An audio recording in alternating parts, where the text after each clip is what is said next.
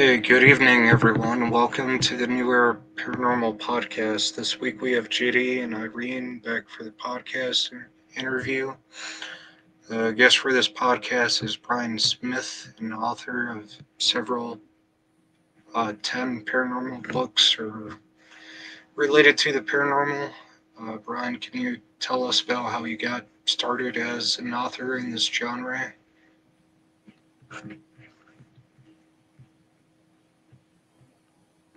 Nope. Nope. Should be good to speak Okay. now. Um, I, I was a kid in the 80s. I remember being, you know, three and four years old when Freddie and Jason were, you know, just coming out of popularity. And, ev- you know, they were the rave, and slasher movies were the rave. And, um, of course, my mom didn't mind if we watched Freddy Krueger and Jason, but she didn't let us watch the Romero Dead movies. And, um, I kind of grew up with that. I was fascinated by it. I used to watch TV show anthologies like um, the Dark Side and Tales from the Crypt. And um, I used to tell my sister bedtime stories. But when I told the Grimm fairy tales, I told the nice version, the clean version. I wasn't allowed to tell her the, the real version. So my parents said, hey, you know, you may want to consider something on that. I said, I've never really thought about that. And my sixth grade teacher found out that I did short stories, and he says, You write me one of those a week, I'll give you extra credit.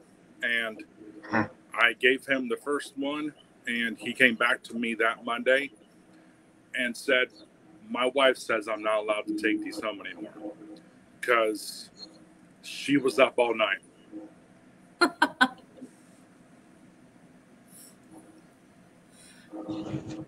So was your were your stories in school were they more horror based in terms of you know like zombies or were they you know serial killer or monsters or paranormal like Anything the other really. form of paranormal anything really. I mean, whatever came to me, I wrote it down.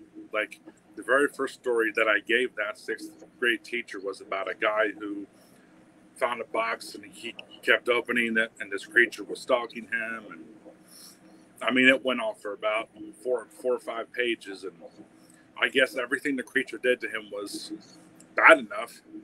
And I kind of veered off from like I started with the weird and strange. And then I had a period where there were like vampires. There was um, ghost, and then I just kind of like whatever piqued my interest. It kind of it, it came to me, and I just like you know I gotta write this down. And uh, my novella Dark Avenues was born from one of those times where I did headstone rubbings when I was a child and I wanted to write something about that because there's something about cemeteries and headstones that coincide with grief, that coincide with death. And I wrote that with the intention of kind of hitting a nerve, not well, well, not so much hitting a nerve, but just kind of reminding people that you know, grief, it's normal. Just push through it and get through your life the way they would want you to and you know yeah. Do you find do you find that your um some of some of uh, your writing I, I I had the um, privilege of reading your short story in horror zine um, and I noticed that it was about relationship too connection to family con- you know the brother and the sister. Do you um, do you want to tell us a little bit about that story and do you connect family in that like in that way or try to have something some kind of moral lesson or is it straight i mean a lot of stories do that but is it is it straight you know just for the the fun and the fear of it? Or i- is there a little bit of that that um, relationship development? Well my sister and i we've always been close. We've always been like you know thick as thieves. She's three years younger than me. As kids everywhere i went she went. She had to go with me. And i kind of wanted to convey that into a good short story that would kind of make it to where the brother has to protect the sister and the sister protects the brother. So you have kind of they've got each other's backs, like you know my my sister and I do. We still do have each other's backs, but I wanted to convey that in a story, and I wanted to add that as a little flavor to the story because I knew that there are other people you know, men and women out like, you know, myself who have that strong connection to a family member, a brother, a sister, and they know what it would be like if something happened to them. They would be torn apart, they would be shattered. And by adding that to the story, I thought that would heighten the tension, that would keep the reader glued to the pages and keep them glued to the story.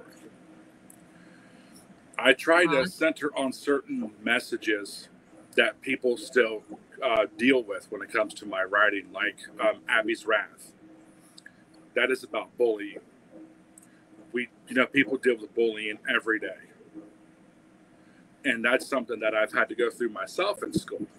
And that book allowed me to get that off my chest and to kind of like just come to peace with it happened. I survived. And yet you have some people out there who didn't you know, that, that the mental strain on the bullying got to them. And I wanted to kind of send a message out like, you know, bullying's not okay.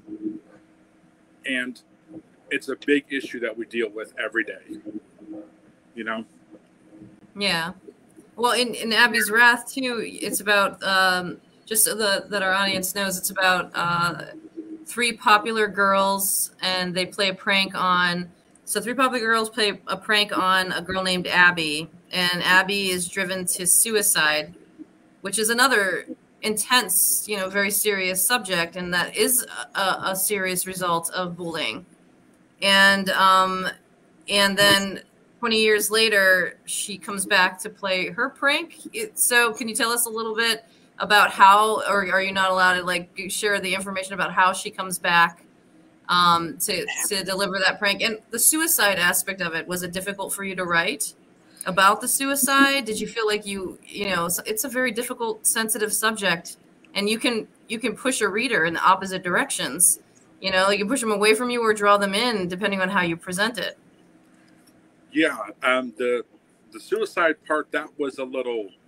I wrestled with that because I I had actually written a scene where it went back to the past and you saw Abby, you know, cut her wrist.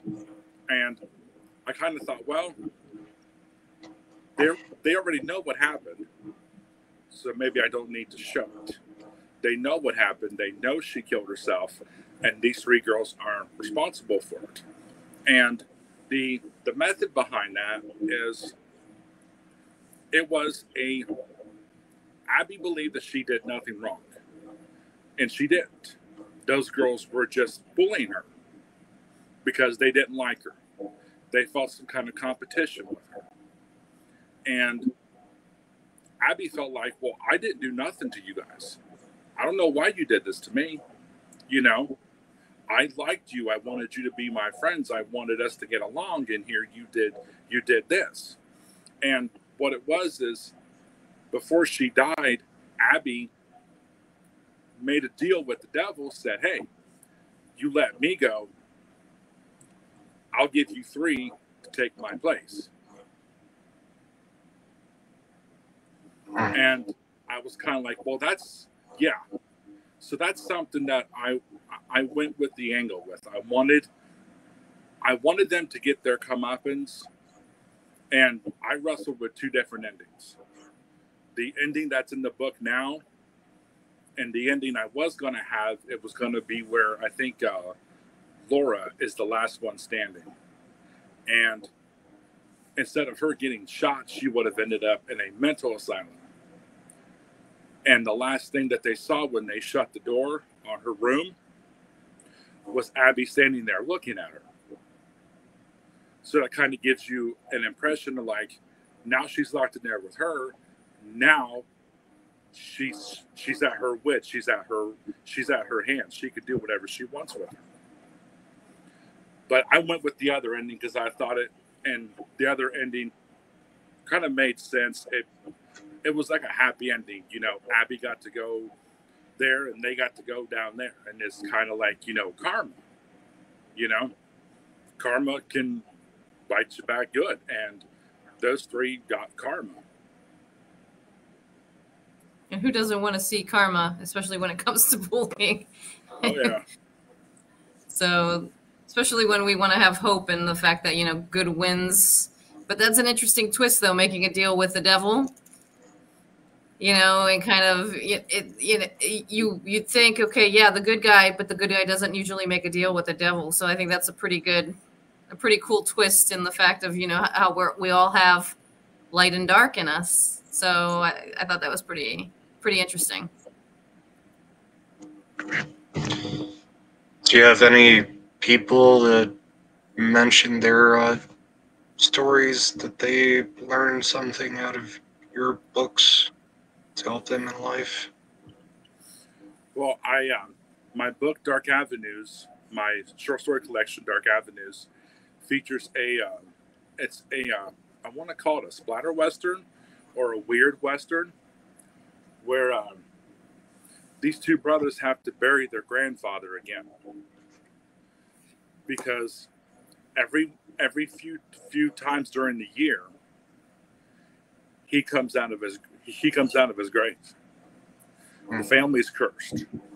And I put that story in there, and I had a very good writer friend of mine. She told me, she goes, I read that book, and that story made me want to do my own splatter western. Mm. And I was completely bowled over. I'm like, thank you. You know, that, that, you know, means a lot to me. And I mean, I've had a, trying to say what was yeah i had a um, a 12 year old come up to me while i was in columbus two years ago and she had a copy of consuming darkness and you could tell how many times she'd read this thing it was all bent and dog-eared and wrinkled and everything and she just she came up to me she's like are you the guy that you know wrote this? And I said, Yeah. And she gave me the biggest hug, gave me the biggest hug, and said, Thank you. Thank you, thank you, thank you. I'm like, do your do your I just kind of asked her like, do your parents know you're reading this? And she's like, they don't care. She goes, but they did get a little mad at me because I presented it as a book report. I'm like, oh, that's probably not the best idea. Take something like that to school and say, I read this.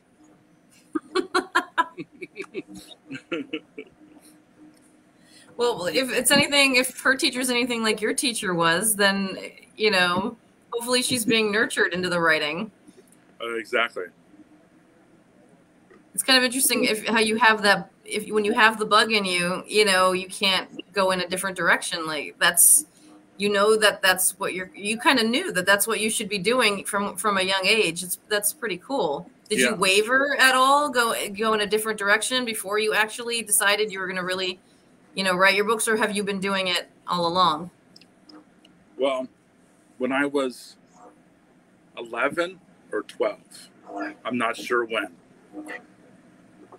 I brought home a copy of Night Shift from the library. And of course, my mother, she just lost her mind. She's just like, What are you doing with this? Do you know who this is? Do you know what he writes? And she brought it to my dad, thinking my dad was going to take her side to it. And he looked over at her, looked over at me, looked over at her, and said, Candy, this boy grew up on Stephen King movies, Freddy and Jason, um, From Beyond, all those movies. He grew up on all of them. Okay? if he has nightmares, it's on him. He will be fine. And it was ever since I read that, I started doing them at 13 and I started doing them all the way into high school um, in between, I want to say my uh, sophomore and junior year, I did less fiction and more poetry. And then I got, I left poetry angle there for a while and then started doing the short stories. And I even did them after I graduated. I started compiling short story collections together, sent them out to places, excuse me, sent them out to places to get published. Did it. 26, published my first short story. That's pretty cool. Wait, so I have to ask, when you started writing your poetry, was your po- poetry, you know, love poetry, you know, that youthful type of poetry, or was it, you know, Edgar El- Edgar Allan Poe type of poetry? It was a little bit of both. Ah, Like I would write a love poem and then like, you know what?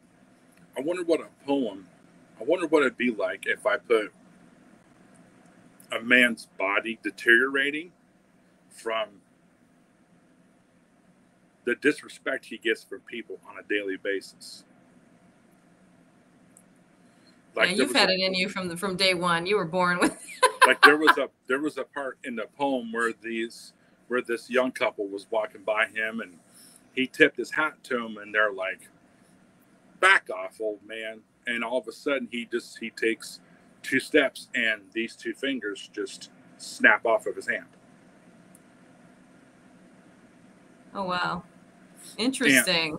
and it was kind of like i wonder how that would be in a poem because i didn't think i could be able to do that through through through prose I'm like how am i going to do this through prose so i did two drafts of that poem and it ended up like a narrative poem i never published it i stuck it in a folder and put it someplace Oh, too bad. That sounds pretty cool.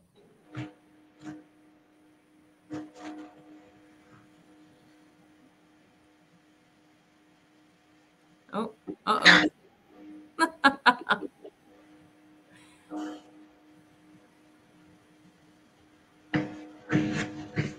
well, JD, do you want to talk a little bit about what's going on with New Era while we wait for Brian to reconnect?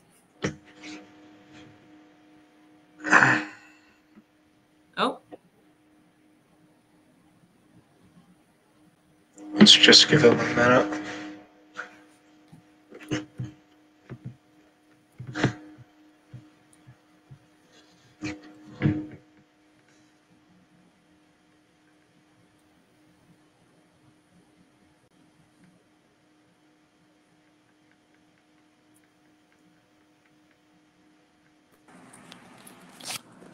There sorry about is. that hello yeah, Hello. hello Can you hear us? hello can you hear us? hello I can hear you.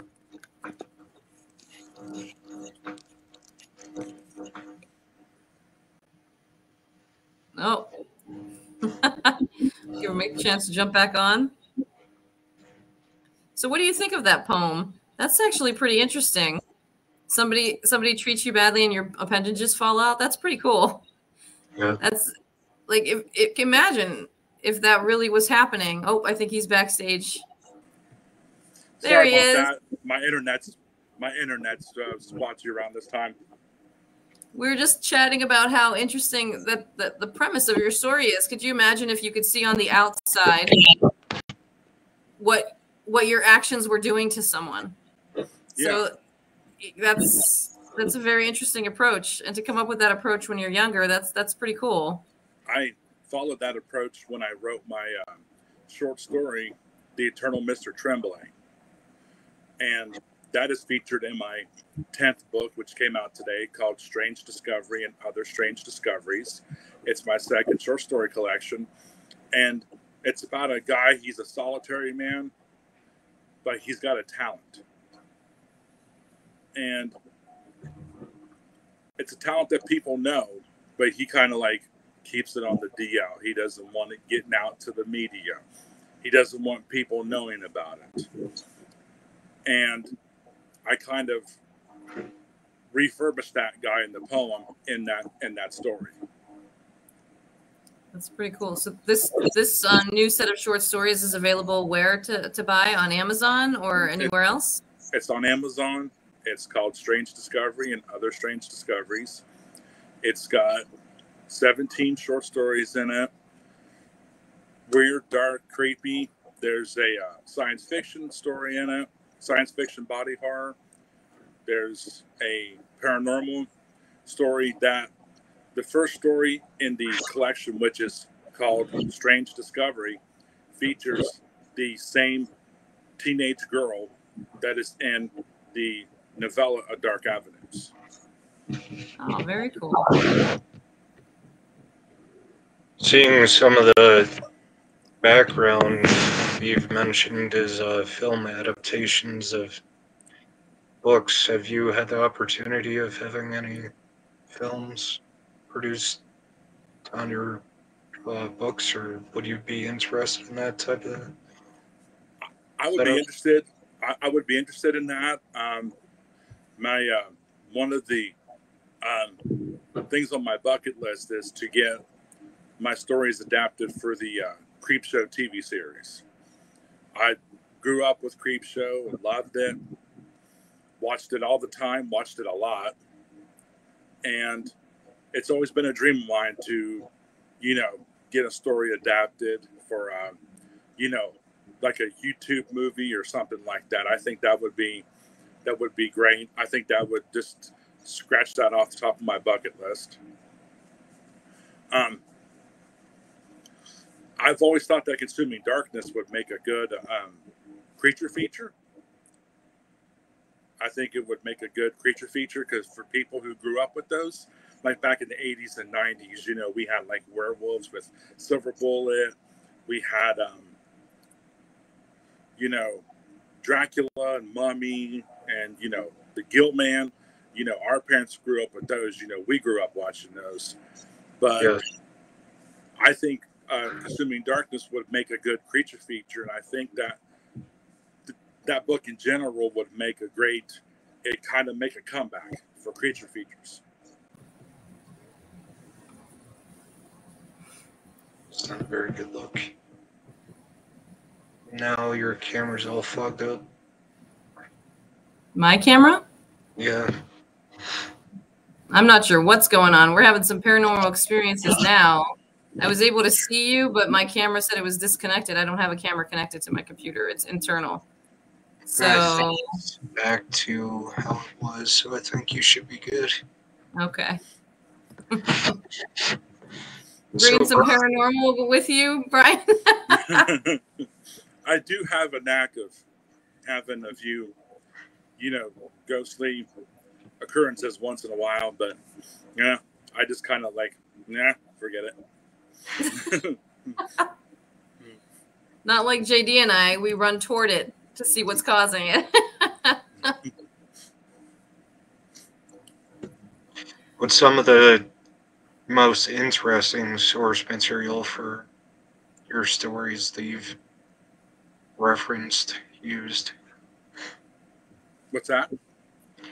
Said, what are some of the interesting stories that you've found to make stories on? Um, I've always, I've always wanted to do, like, I've been infatuated with other authors when they did short stories, like with Stephen King and Night Shift. I would try to kind of like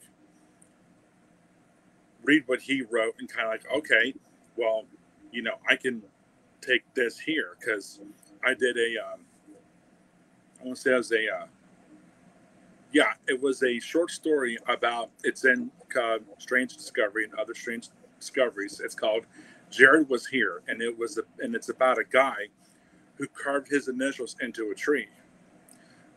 And the carvings that followed on that tree appeared on his back. And I had read a uh, story, a, an article where a guy had he done something like that. He put his initials into it. And like about two days later, he started feeling sick. He was feverish. and he had carvings. He had these like these faint carvings all over his shoulder, and his and parts of his skin. And I was reading that, I was like, wow.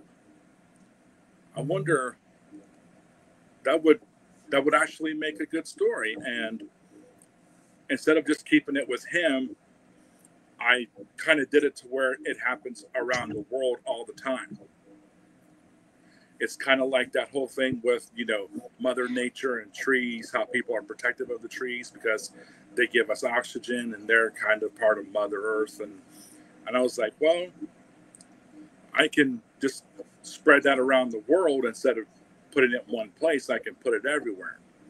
So I was able to go with that and I was able to incorporate that into a good short story. Um, let's see here. Um, it's usually anything I find like in the news or if I see something, if it just pops in my head, like ideas just boom. Idea will come, will pop into my head while I'm writing something else. So I have to ask, did you do anything for with what happened to what did what happened to people who cut down trees? Did you do anything to them? So instead of just carving into trees, that they actually cut down the trees. No, no, no. They just they just carved on them. Interesting. I'd like to see, you know, can you imagine an uh, environmental story? Deforestation oh, yeah. and the horror, the horror response to mass deforestation. so you talked, so uh, so you talked about um, a- Abby's Wrath and a couple of your short stories. There's one that piqued my attention. I, I haven't read it, I have to admit, but it was it's called Haunted House Born Evil. Can you tell us a little bit about that? Is that a paranormal type of story, or it sparked my interest? Are, are you talking about 1342 Lindley Road? Uh, I, am pretty sure. Yeah, 1342. Yeah, yeah. Um, that was something I started thinking about. I wanted to do a paranormal, a supernatural novella for Dark Avenues, specifically for that collection. And I started thinking about this house I used to live in when I was really, really young. You know, I think it was like 91 or 92 we lived there. And I wanted to use that house and incorporate it. And when I wrote that, I wanted to say, like, well, it wasn't just a house that it wasn't built by a carpenter who who who who had witchcraft. Okay, he wasn't cursed by a witch. There was no bad juju that happened. I wanted the house to be literally, it was born that way, like how some haunted house. Yeah, there's something paranormal going on right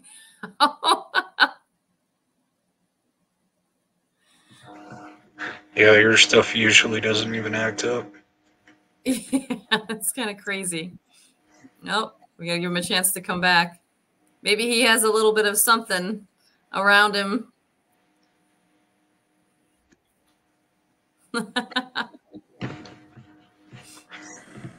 I'll tell yeah, you you're definitely you definitely got paranormal happening in yours.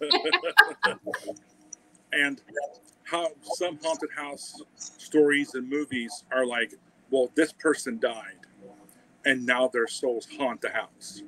Or like with Amityville, the devil was talking to the boy and he shot his family and now it's haunted. There's always something that happens before people get there. I wanted this to be where it was just born evil. It was just born that way. So was it still built or did it just appear?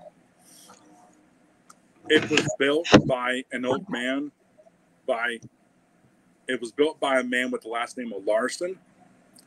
And after his and once he and his family got settled, they started to notice a few things. And then they had it, and then he had it for a while, and it was occupied here and there. And then the the people who got it, people who got it after him, they were a hippie cult who did this nasty ritual with, you know, spike punch and they were cutting on each other and they were, one guy was pulling his, one guy's pulling his teeth out with a pair of pliers and, and it wasn't just that time. It was, there was another instant where a woman and her kids moved in and something goes bad there. But the house, it's kind of like an attraction. It was kind of like, how can I say this? You know how social media pulls us in? Yeah. And I have nothing against these people before I say this. I have nothing against these people. People who seek attention on social media. That's what that house did for the people who moved in there.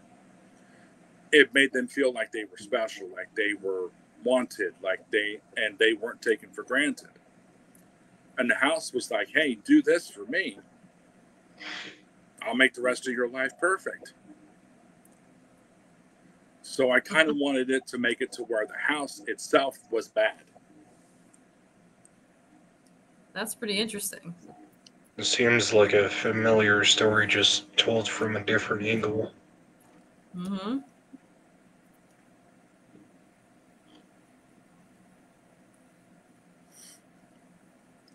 So, have you had any paranormal experiences yourself? So you, I mean, you said you have, but can you give us an example of something that that I know you don't want to, you know, you don't want to go chasing after it, but an example of something that you know stuck with you? Maybe something while you were writing a book and you didn't expect to happen, or you were inve- you were researching something. Actually, since you mentioned chasing after it, I did chase after one, but I learned my lesson. we had come back from California and we lived in this, like a what they call them, like split level house, Mm-hmm. and it had a front yard that went up like this. It was slanted towards some trees, and it went to a private drive. One night we had the windows open. It was summer. It was hot, so we had the windows open. And my sister stayed in one bedroom, and me and my two brothers stayed in the one down the hallway. I got up to get to get a uh, to get a drink of water, and I heard this sound coming from the window, my my sister's bedroom, and it was, ba-doom, ba-doom, ba-doom, ba-doom. and I'm like, okay. So I kind of ignored it, went went back to bed. The following night, not the next night, but the night after that one, heard it again. Ba-doom, ba-doom, ba-doom, ba-doom, ba-doom, ba-doom. And I'm like, okay, now I'm gonna find out what this is. So by the time I got to her window, I saw these two figures step into the trees and disappear.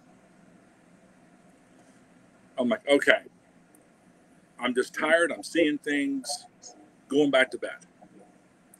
Went back to bed. Two days later, heard it again. Ba-doom, ba-doom, ba-doom, ba-doom, ba-doom, ba-doom. I got to the window just in time. The two figures that were seated into the trees were wearing Civil War uniforms. Hmm. They were wearing uh, the gray. I think it was the the South.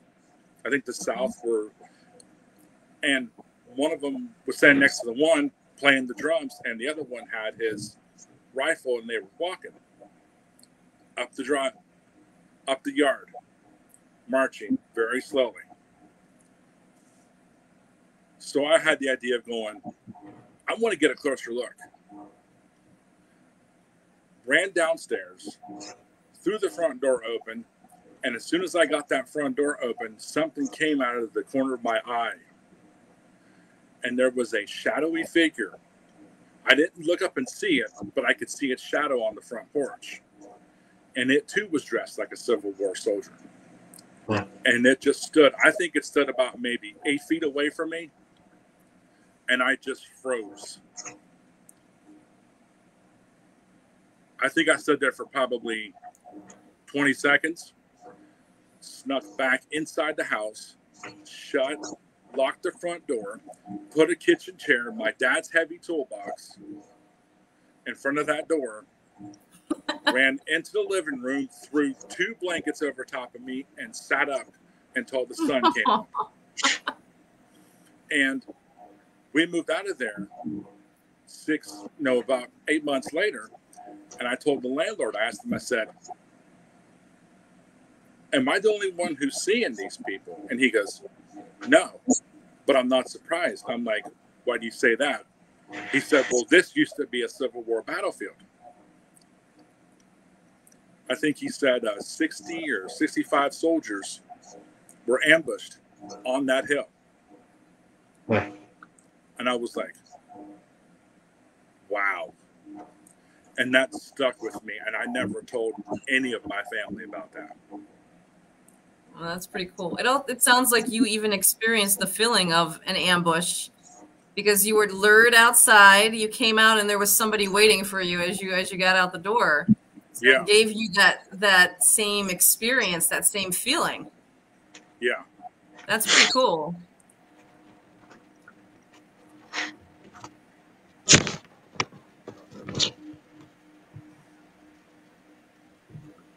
So did the blankets protect you? Do you think it was the blankets?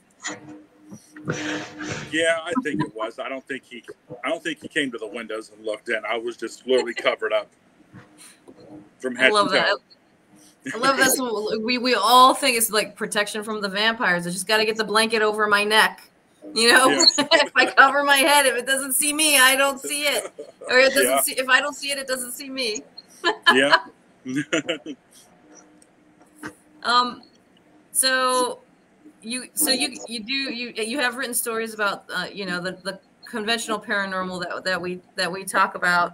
Um, but I did notice too that you you also have gone into kind of almost like a cryptid where you like in your original short story like big monster is supposed to be similar. It's lizard like but it's supposed to be similar to you know like the mysteries of the loch ness and even bigfoot and so on. Um, and then you've gone into type other types of horror we could talk about but what's your inspiration for when you come up with the creatures for like for big monster and um, do you do you liken it i mean you do in the story but what what makes you liken it to the other types of crypt- cryptids that we see or we talk about in Well- the paranormal world I wanted to make it different. I didn't want it to be as popular as Mothman or Bigfoot or Loch Ness.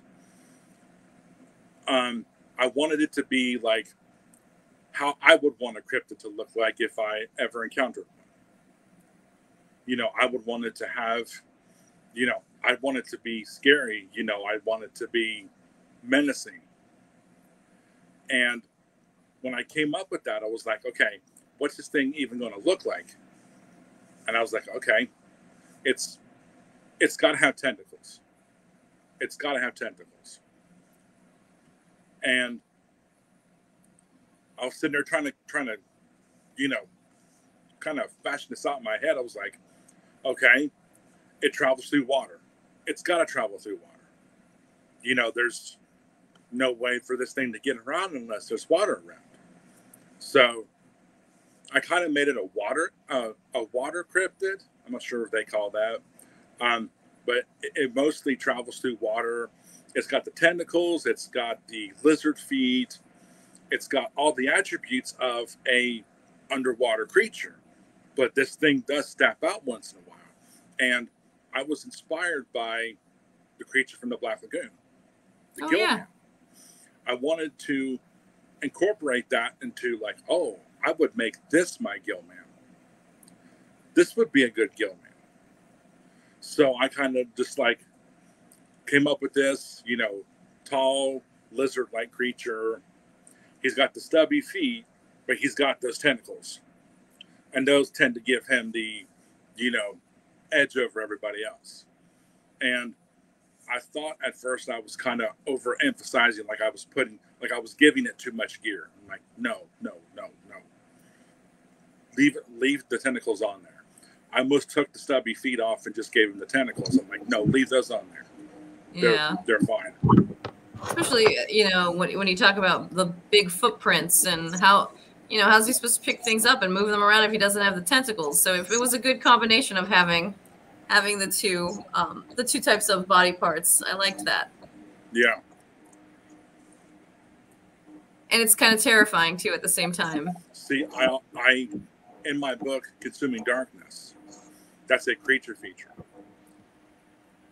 I wrote that one because I don't know if you've ever seen the movie The Beastmaster. Oh wow, that's an old. I have seen it. It's been a long time though, but yeah. It um, there was a scene in that where he cut that guy from the stone altar, and they had those monsters, those creatures standing around. Yeah. And uh, you know, he tells the guy not to look back, run, don't look back, don't look back. Of course, they all look back. and he goes into the arms of one of those creatures and it wraps him up and it does this kind of belly dance. And when it opens its arms, all you see is his clothes and his bones. That scene kind of stuck with me. Had a nightmare about it that night. Had a nightmare because my grandma liked to wear movements. She liked to wear those caftans. Had a Oh. nightmare. Had a nightmare. She was giving me a hug, and her caftan was turning into one of those things. Oh. And I kept that in memory for a long, long time when I said, okay, what's my second book going to be? It's going to be a creature feature. But I got to look up and see what that creature is. And I watched a YouTube video about it, and they call it a winged devourer. They are a non alien type creature. And what they do is they wrap those wings around you and they press their face up against the top of your head, and it secretes this acid that softens your flesh. But they don't eat your clothes, your bones, or the items in your pocket. That's tough. The scientist in me, when I hear acid, that's not. It's not picky, but yes, I see that. And when I heard that, I was like, oh, I am going to have fun with this one. oh, yeah. So I just kind of went that, I just went with that one. And Consuming Darkness has that kind of connection with me because as a child, I was afraid of this thing, you know? yeah. So I wanted to, like, hey, you know, if I'm afraid of it, I'm not saying I want you guys to be afraid of it, but it exists. So be afraid or be brave. And like I said, that was that was one of my I I love doing that book. I loved it. That's awesome. That's pretty cool.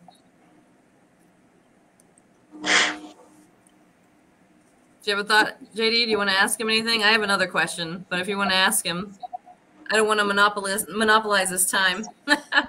Yeah, I mean, it all sounds pretty interesting, but I'm not a writer and I don't read books very often, so. That's okay.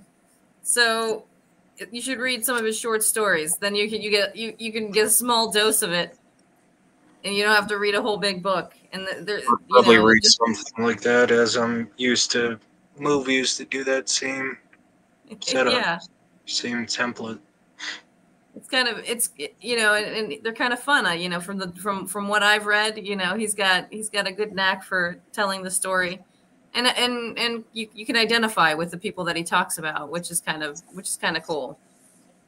Um okay so i mean how how can i not talk about zombies? So I see you have at, at least a couple on on zombies but I, I i saw dead river as one of your so so first let me say you're from ohio right? Yes. and so you i've noticed that you've based your stories in like a- lot either they start in ohio or they're based in ohio. I've noticed that you you kind of you, know you you call out your or you you bring up your your you know home state. Do you do you do that in all your stories or is there a reason why you choose ohio you know because you're is- is it not just because you're from there or from here? So if you can give us a little idea. Well, I I haven't been anywhere else, you know, for you know, except you know California, and I wasn't there enough to get enough information to to to put something in in there. But um, Ohio, it's it's always been like one of those places that I can just I can take pieces of my memory of places that I've been there and I can reshape them to look a certain way and then incorporate that into the stories. Like the town of Langston, Ohio, which is featured in um, Consuming Darkness, Abby's Wrath, and Bad Allergies. Yeah, that that's another one a, I want to talk about. that was a mix of all the towns that I've been in Ohio, that I've lived in. And I could always take these towns and kind of like, okay, I'm going to take their town square and I'm going to put this over here and that over there so there's nothing coincidental with it. Yeah. Or I would, um, or I would kind of like see a place and go, "Hey, I remember that, that that road, so I'll put that road in here." And Dead River started. If you read Dead River, that starts at an actual place that I went to in Marion. It was like a oh. a nice kind of posh yeah. restaurant that sat it was it was inside of an a-frame on a hill and you could look and see the ohio river. You could see the river the, the bridge is going into west virginia. And i said you know this would be a good place for a zombie novel to start. Because that's and, what everybody thinks when they're out having dinner looking at the scenery. Oh yeah. And um, when I when I started doing that one, I wanted to incorporate because I have not only been inspired by the George Romero movies, but I was also inspired by Brian Keene's novels, The Rising and Dead Sea. And I wanted to kind of take a little bit of Dead Sea and put it in here. And I, but when I did that, I also wanted to create a character who had a guilt. He had this big, heavy guilt on his shoulders. And at first, the book was called The River Rat, and he was going to be like a Santa Claus to the you know survivors who were locked up. Like if you needed water or you needed inhalers, you would hit him up on the CB and he would bring it to your house. But then I got to thinking, well, that wouldn't actually make survival easy because if you watch the the uh, George Romero movies, survival's not easy. Food is scarce. It's all about survival. So I took that aspect out and I said, okay, he's trying to get out of Ohio. He stopped here to sleep and now he's, you know, he's a guy with a boat and he's stranded and he's got these three kids that he promised to take to Texas. These guys came by, stole some stuff that wasn't theirs, and ripped the spark plug out of the boat and threw it in the river. So now he's stranded. And he's got a 15 year old girl, a 12, uh, an 11 year old boy, and a baby. So how's he going to be able to survive this? How's he going to be able to make it to where they're safe and still honor his and still honor his his promise. So he so I had to flip a coin and I said, you know what? They're going with him. Putting the baby in the mix. Raised the tension, it raised the suspense, it made people concerned for the characters. Because I had had people book blurb that book and every one of them have come back and said that baby better not die. they don't care about anybody else, but the baby definitely better not. Baby does not die, and all of humanity. So I'm and, glad you made them happy. and I'm the same way when it comes to watching horror movies. Yeah. I hate seeing animals die. Yeah. I can see people yeah, get shot. I can see people get stabbed. But dogs, cats, horses, no. It's like, nope, nope, that's a big definite no no for me. Nope. Yeah, I'm guilty of that too. Totally. Okay, I want to ask you about um about you talked a little bit about bad allergies and this this story is about like this pollen that smells like patchouli, and basically makes people crazy. They they act out in extreme violence. But what's pretty cool is so you have a main character, and what I like seeing is bringing forth, you know, you know, characters that we don't get to see every day. You have, um, I think the main character is Wendy, and then you have um, the other main character. She has to travel, um, and she has to travel with the other main character, uh, Gail, right? Yeah. And Gail is transgendered. So you're bringing in the, a different type of character that we don't normally see in horror movies. And I like that you're putting that on the forefront and you're putting that into your book as as as main characters. It's pretty cool. Can you talk a little bit about that and your inspiration for that? Well, Bad Allergies was inspired by when I was 21, I got a copy of Off Season by Jack Ketchum. My brother read it first. He handed it to me and said, Don't say I didn't warn you. I went and I read it. It took me three days to read it. Blew my mind. This book was published in 1981 by the Village Voice, and people burned this book. It was violent. They thought it was very violent. It was very visceral. They thought it was just gory and sick, and they didn't want no part of it. I mean, cannibalism is kind of scary. that makes a lot of sense. Oh, yeah. And I looked up other things that Jack Ketchum had done. I found out he did a sequel to Off Season. I found out he did a book called Red, where an old man is fishing, and these kids come over, and they harass him and try to tell him to get off the land. And he's got this red, just like dog. It kind of reminds you of if you've ever watched the cartoon. Uh, ah, damn it, Hank Hill. No. What's it called again? King of the Hill. Oh, King of the Hill. Yes, yeah. yes. It's a dog that looks like Ladybird. And this dog goes after one of the boys, and the boys kill it. And that old man goes back and gets vengeance uh, against them. But Ketchum released a book called Ladies' Night. And that was about a chemical tanker that spilled in the middle of New York City and drove all the women crazy. And yeah. I read that book and read that book, I mean, over and over and over and over again. And I'm like, okay, it's been over 15 years since I've read, since that book has been burned in my memory. It's time to do this. So I was set out to do a homage to Jack Ketchum's Ladies Night. And I said, how am I going to do this? And I kind of had to go take a walk kind of get my mind clear, come up with something good. And I got to Main Street. I got to the main drag of uh, the town I live in, uh, Chauncey, and this big, huge white mist of pollen. I don't know where it came from. Just swept right across the street. And I'm just like, oh no, and I covered my nose because I suffer from allergies.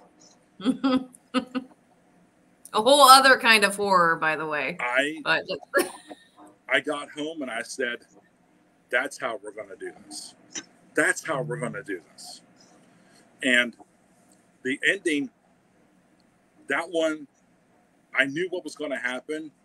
I wanted to give Wendy some kind of a disability to slow her down that would heighten the tension, that would heighten the suspense. Because she's, because I don't know if you read the back of it, but she's got a medical boot on her foot. Yeah, broken broken foot, right? And she's trying to maneuver this whole visceral landscape. She's trying to survive this on one good foot. And I knew what was going to happen. I knew like everything that was going to happen up until the ending because I had three endings for this. And I kept wrestling with them. And one of them was they were going to get a hold of the National Guard, and the National Guard was just going to bomb the place. Um, they were going to make it out of town, But the army's there on a roadblock, gets them out of the car, shoots them, gets back, puts their bodies in the dump truck, and drives away like nothing happened. Or there was going to be those, there was going to be that unhappy ending where the main character dies. And I'm like, okay. But I got halfway to the, I think it was like the next to last chapter, and I said, you know what? I'm going to twist this around a bit. People expect her to live. People expect her to be the survivor, the final girl. What if I turned this on its head and did something different? And that's exactly what I did with it.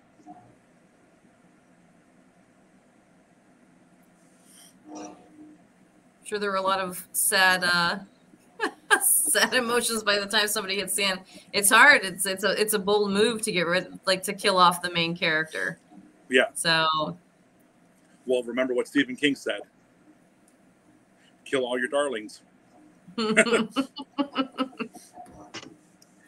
oh man. That's pretty cool. So um you want to tell us a little bit about where people can find you? on well, social media. We know your I'm books on, are on Amazon.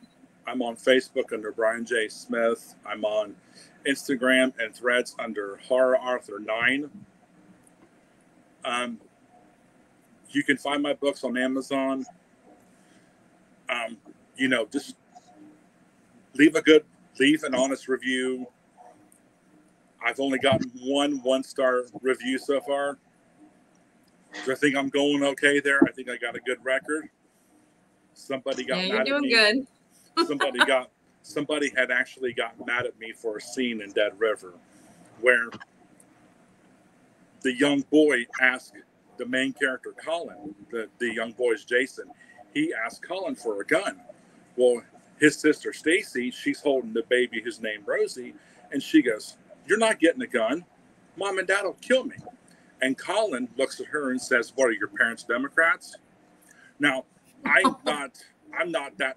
I, I don't usually put politics in there, but when I when I wrote the character. that, I was kind of thinking about the scene in The New Hills Have Eyes, where Aaron Stanford's trying to look for a phone signal, and there's Ted Levine and Dan Byrd getting their guns ready, and Dan Byrd's like, "Hey, gotta try this, man. It'll make you powerful." And he's like, "Whoa, whoa, get that out of my face!" And Ted Levine he looks at Dan Byrd and goes, Son, Dan doesn't like guns.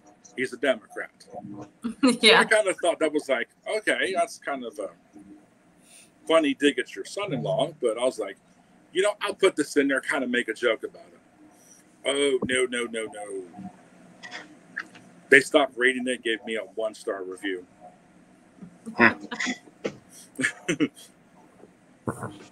well, you can't make everybody happy. Nope. And the fact that they felt so emotionally connected that they would have that kind of response, maybe that's a good thing. And I take the review people, as a badge of honor. And I've had people read that book and said, "I noticed it, but I didn't let it, but it didn't keep me from finishing the book." Yeah. Uh, well, it's been fun, Brian. Thank you for having me on. If you ever I, I'd be I'd be happy to come back on. Yeah, we'd love to have you. It was fun. I like hearing about your stories, your inspirations. We appreciate it. Thank you for having me on. I'm gonna go ahead and wrap up the show. Uh, thanks everyone for joining us for this episode of the podcast. We hope you were able to learn something new during this video. We will be hosting another podcast interview next Wednesday at 7 p.m. Are we still on for that, Irene? Next week, seven. Next week, we don't. We do not have a podcast next week. No. Yeah. So everybody have a great Halloween. Watch some scary movies. Um, also, in the meantime, make sure to check out the Neppy Investigates YouTube series on our YouTube platform. We have 24 episodes in total. in the series, and full videos are being released on the Spirit Channel and Paranormal Family Channel on a monthly basis. Also, make sure to check out Brian. Uh, do you want to say your tags one more time? I'm on Facebook under Brian J. Smith, and I'm on Instagram and Threads under Horror Author Nine. Uh,